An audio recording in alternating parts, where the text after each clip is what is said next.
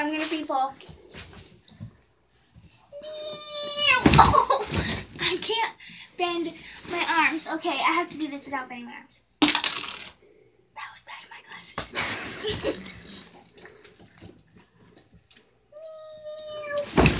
Ow! it hurts your nose.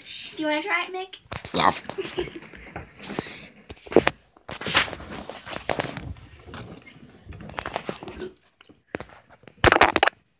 I tried to catch him.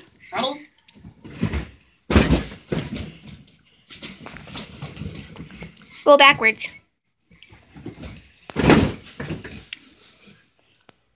How's everybody doing tonight?